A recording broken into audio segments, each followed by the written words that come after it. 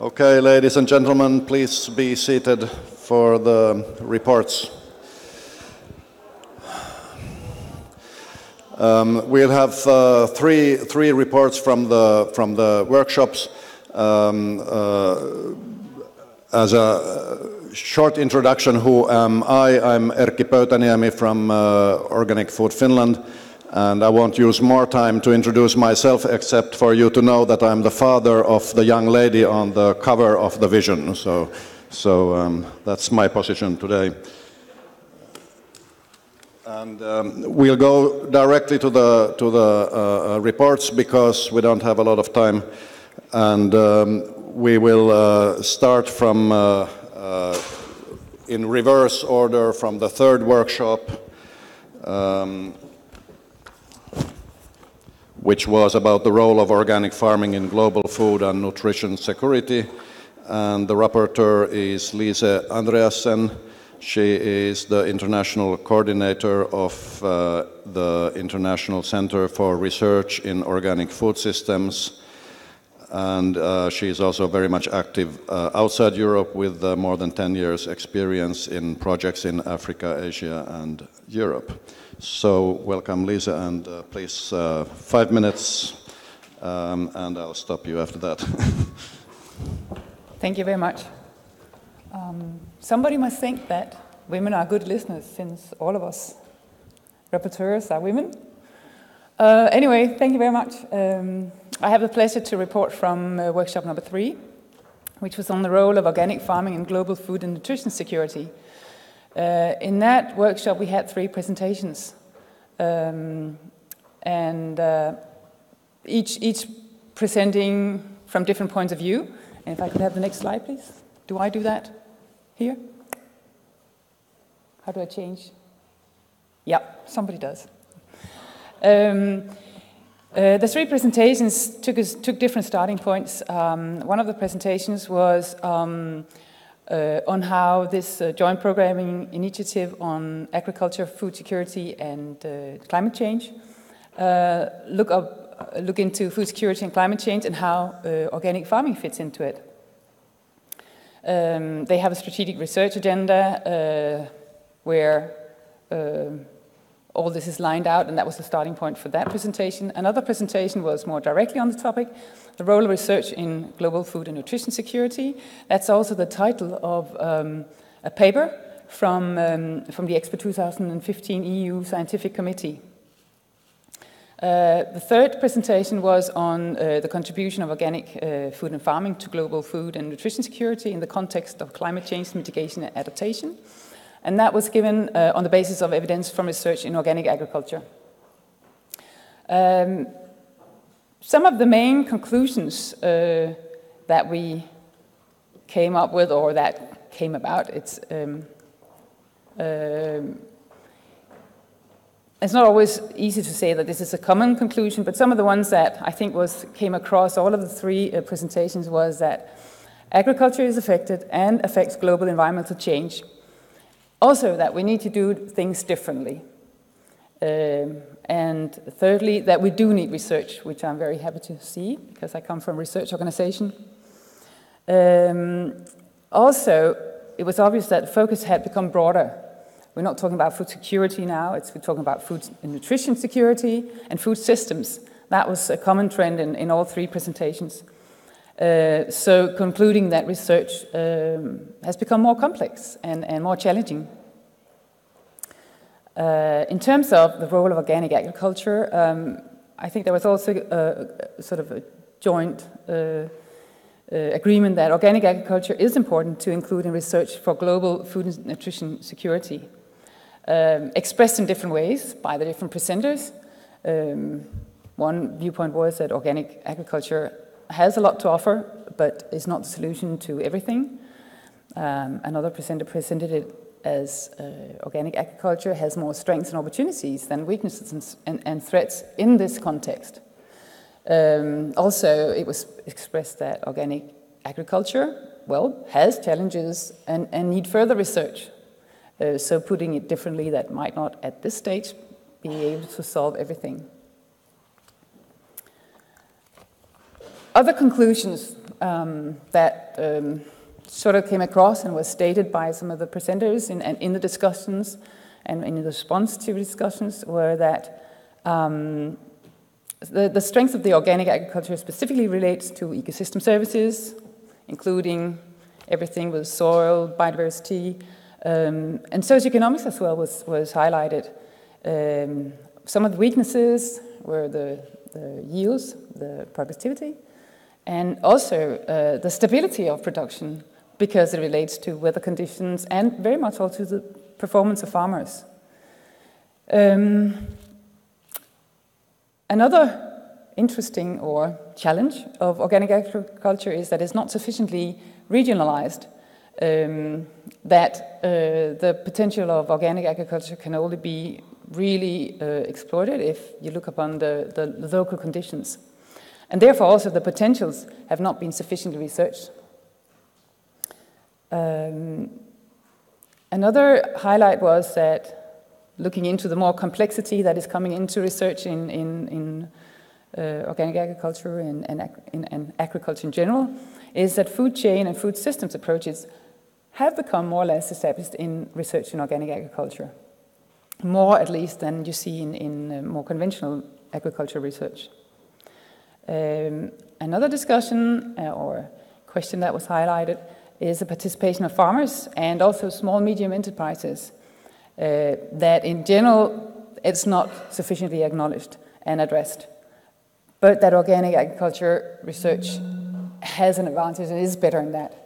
Um, uh, in relation to that discussion, there was um, highlighted that very often it's the big companies that are being approached when a voice from the private sector is needed.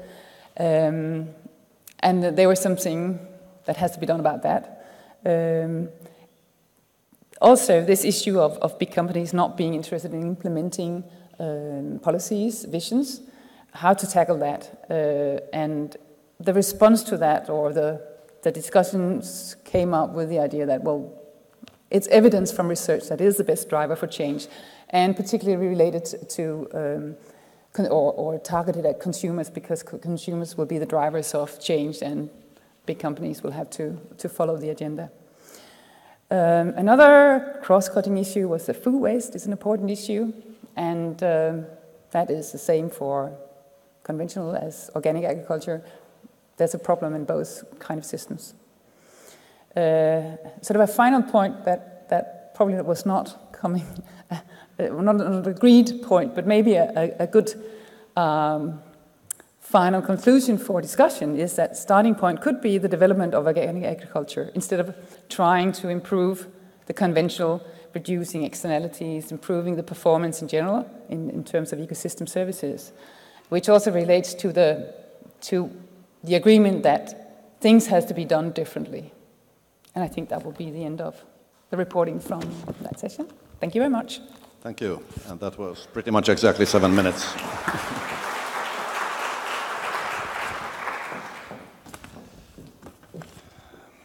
The next report will be um, from workshop two, um, EU regulatory and policy solutions for progressive organic sector development. And the rapporteur is uh, Merit Mikk. She is the executive director and senior researcher at the Center for Ecological Engineering in Estonia and uh, is a member of the board of the Estonian Organic Farming Foundation and a long-time pioneer in Estonian organic agriculture. Please. Uh, yes, second workshop. We actually had um, a very wide uh, range of issues discussed, and it is uh, not too easy to make uh, conclusions. But uh, I think that it was really clear for all, from uh, all the participants that that we have been concentrating maybe too much, and or we have used our um, brain power too much to the regulatory issues, uh, and uh, uh, we have um, we have forgotten that these regulatory issues are not really the, the uh, the main tool uh, to develop the organic farming uh, sector. so um, mm, we have here are the listed the main topics uh, we, dis uh, we discussed, but, uh, uh, but actually the, I think there are at least 10 other ones missing from, here. but um, there was a lot of um, di discussion that um, about the stakeholder involvement, for example, and that about a participatory approach. Uh, then uh, bringing uh, producers and consumers um, together. then that we have to, to look, we have to go from the niche tools to transformative tools. we have to um, um, empower farmers worldwide. Uh, and we have to pay uh, much more attention to the uh, young generation involvement Uh, uh, also uh, and the, the, engagement of the, of the new farmers uh, in farming, not only organic farming, but, but also in general, and about the responsibilities. And um, here are the um, main conclusions from, from our workshop. Uh, uh, the, the, first one I already already mentioned that we have to, um, mm, in order to move forward, uh, forward, and uh, uh, we have to use all available tools.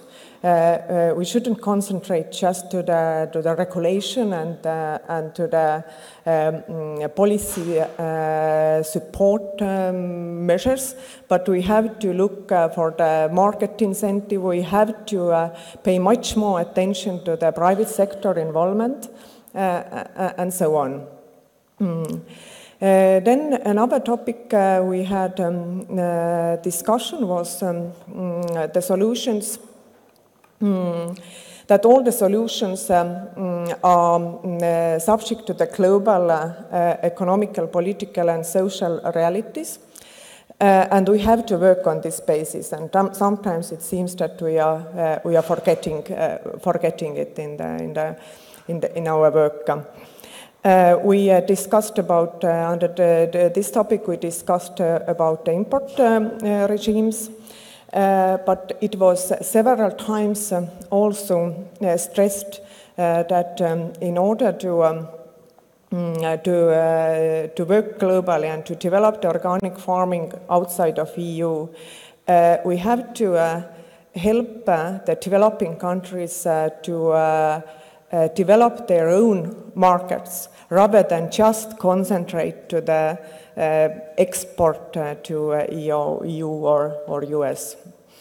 then the third conclusion is that we need to create policy environment based on true costs. Um, and we have to move away from, uh, from the business as usual. Uh, I think this is this is very commonly known. Everybody of, of you is probably thinking about the, uh, about the real cost of the food and, what, uh, and uh, what, what is the actual cost of the, uh, of the cheap food of the, uh, in, in, our, in our shops. Um, uh, and um, uh, we um, uh, and this is this point is of course uh, uh from one uh, hand it is related to the to the existing um, policy policy tools and policy support or the support systems which are still um, supporting the, the farming which is um, mm, which is business as usual and from the other side, of course, we have to um, mm, uh, think about um, mm, uh, the, the, fact uh, that uh, uh, uh, when everybody is talking about the polluter pays principle, for example, then if we are coming really to the to the to the real situation, then this then there is very little attention paid to this. And a lot of organic farmers, for example, they are really um, affected by their um, uh, uh, conventional neighbors. And these conventional neighbors, they don't have any responsibility for the, for the polluted organic fields as well as for the, for the, um, for the environmental uh, uh, uh, aspects. Uh, then the fourth one, uh, Uh, we had, uh, I think, a lot of uh, discussion about um, wider stakeholder involvement. Uh, that this is really uh, crucial in solving the problems and, uh, and also the finding the best solutions. And that there should be much more attention paid to the um, participatory strategies. Uh, so there is, uh, it's not only the, the, um, the need for the, for the just uh, formal stakeholder involvement, but we really need um, different methods to be used, and we need really the uh, to, uh, to use the right uh, strategies in, the, in, the, in solving the, the, the problems. Uh, uh, so uh, I think that, for example, as if we are talking about European um, Organic Farming Action Plan, and we are talking about a few activities there, um, for example, the um, support um, supporting um, the the farmers to, to, to understand the, to understand about um, uh, the, uh, the appropriate policy tools.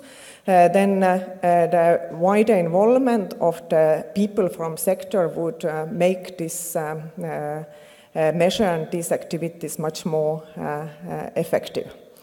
And then as um, as a last, last point here, but maybe the most important point, is that, um, mm, that everybody uh, has their own responsibility um, in developing the solutions. And as um, mm, uh, Chris, as a first, first speaker in our session, mentioned that we have to look at first our, to, at ourselves in order to develop the organic farmer, uh, farming sector, and we just uh, we don't need to um, uh, uh, uh, Uh, uh, to uh, look first at the regulatory side and at the policy side, but, but as, a, as a priority to look at ourselves, what, we can, what we can do, and uh, then work together with the policy maker to determine, uh, determine, determine determine, I can't pronounce this, sorry, determine uh, uh, the right uh, solutions. Thanks.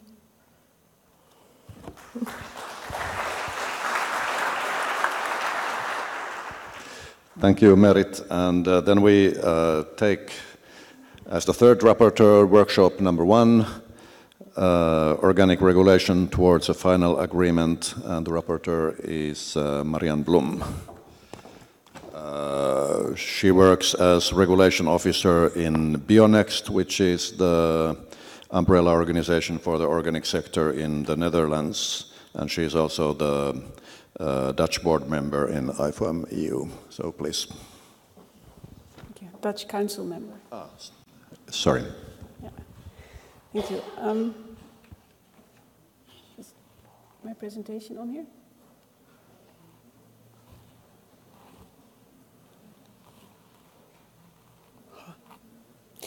So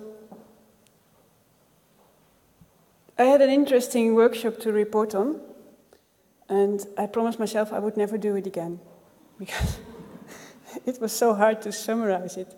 And I, although I have no conclusions, I will say that from the beginning. We talked about trousers, we talked about trains, we talked about poison. I will come back to that. And there were many different topics on the table. Um, I tried to thematize, to put them in order of different um, thematic areas. So, at the table or at the workshop, I'd like to say before, there were all the relevant parties around. There was the current and the next presidency of the council, there was um, the commission, there was the parliament, and there was the sector, which was very good. But it also meant that there were no common statements, there were individual statements. Um, so we talked about annual controls, about imports, about thresholds, the three hot topics that are now on the table. we talked about the next steps in the progress in the process, about delegated versus implementing acts, and how to get smallholders on board or how to simplify the current regulation. Well, first on the annual controls, um, it's now the the latest version is that there is an annual control as the basic rule, but you can apply as a member state risk-based inspection and have a physical control once every three years.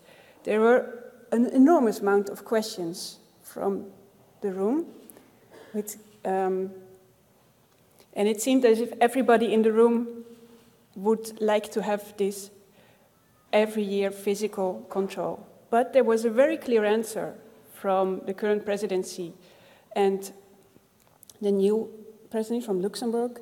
Like in the council discussions, it's more balanced. There are quite a lot of member states that are in favor of risk-based controls. So that was very interesting. So the compromise that it's on the table, it's really a compromise between the different voices that are heard in the council discussions. Then on the imports, um, there was currently there is the equivalence, and the proposal is to have compliance and equivalence only for trade agreements.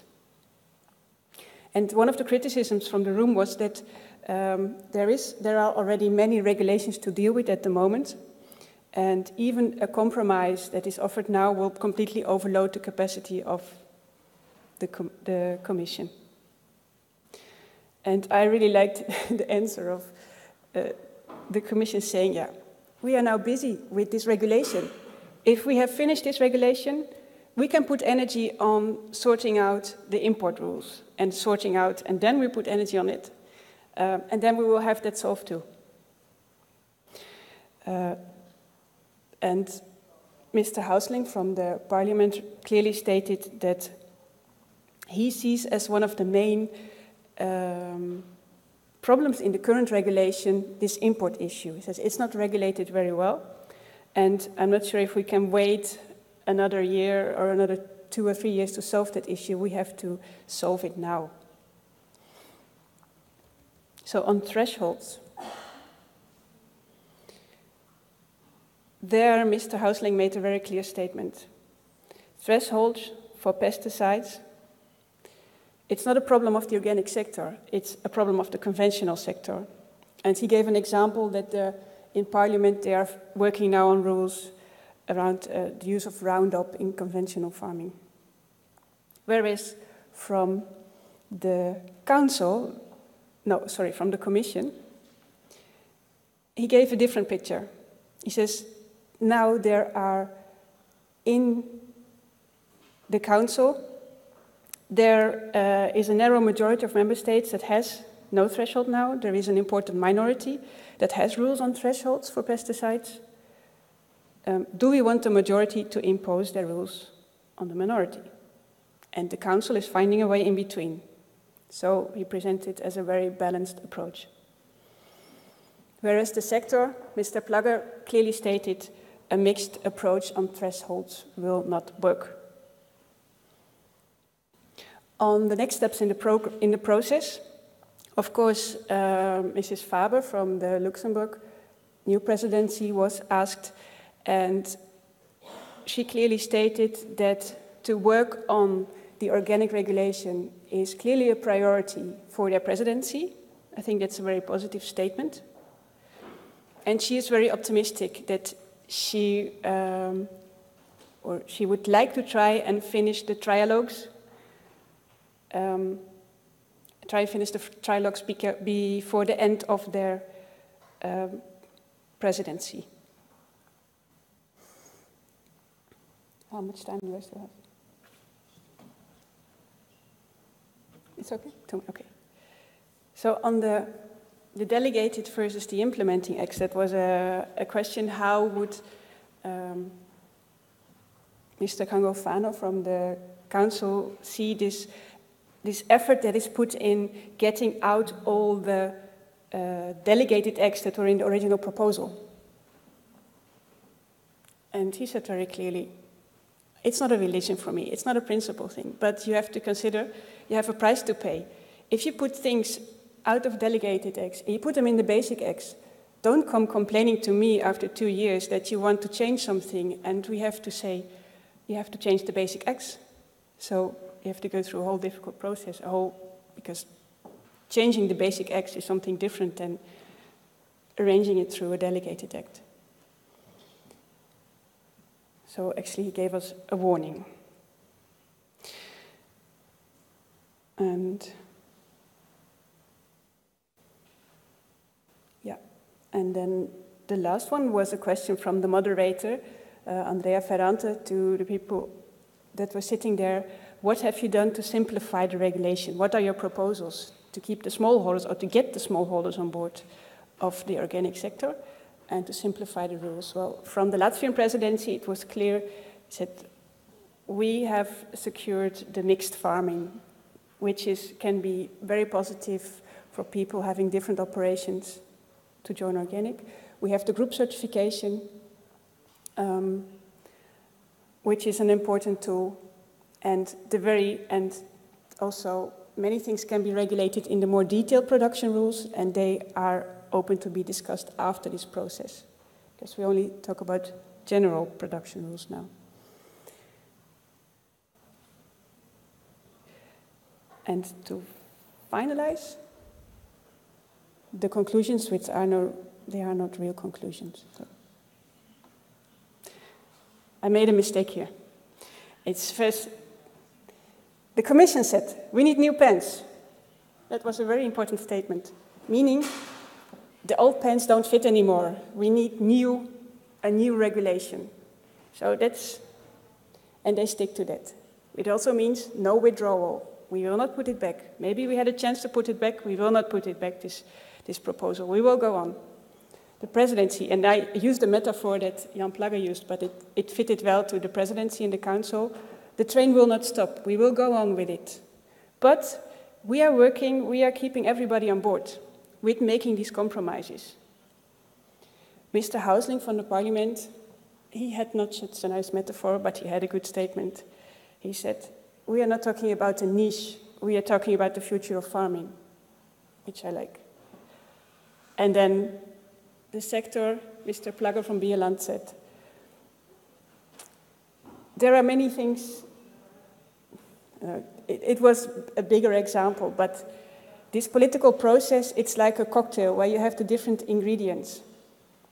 And the ingredients are not right. And we try to get the ingredients better. Maybe it's not perfect, but in the end, on Tuesday, we want a cocktail. It may not be tasty, but at least we do not want to be poisoned. I think that's quite relevant for the sector. So, with this, I conclude my report.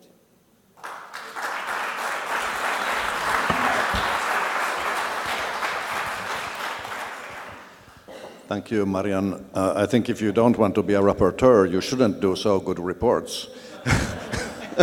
I'm sure you will be a rapporteur. It costed me my lunch. Thank you. Thank you for that. Um, now we will open uh, the discussion, and uh, I think um, there's a lot of uh, uh food for thought uh, in the reports and in the discussions you have all participated. So we'll, uh, I think we'll take um, um, Uh, uh, if uh, anybody wants to comment on the on the reports or wants to add something, if maybe the moderators of the workshops uh, want to add something. Unfortunately, Lisa Andreasen had had another meeting; she had to leave. But but maybe the moderator of the third group was Marco. Is he in here?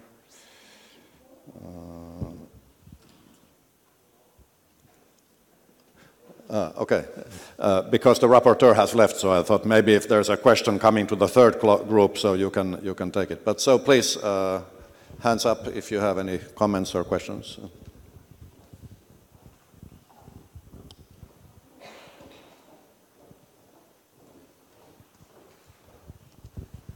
If not, um,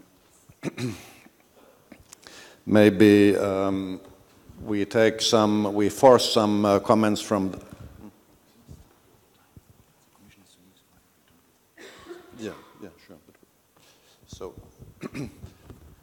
I think we have some 10, 10 minutes anyway for the um, discussion. Five minutes, okay. Um, no questions? There's one, okay. Uh, we don't want to leave these five minutes unused. Uh, please introduce. I, I'm Antje Kölling from Demeter, and I just wanted to repeat, I think it has been said several times.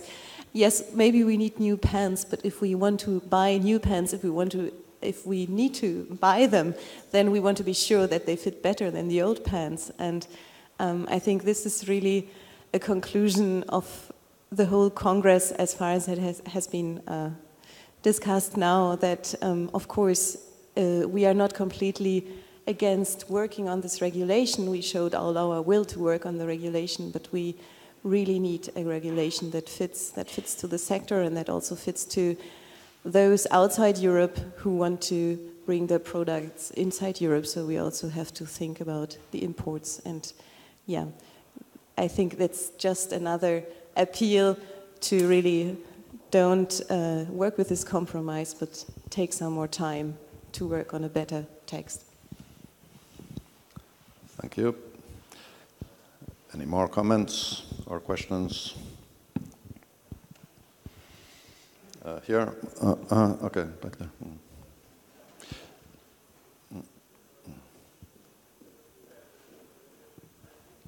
My name is Lars Mosul. I am a member of Organic Farming Association in Latvia. Uh, I wanted to comment uh, on the third workshop uh, relating food security and organic farming, how, how organic farming can uh, support food security. And I would like to say that we need another food systems and not another farming. So we have to discuss about how another food systems can support uh, food security. Okay, thank you for the comment.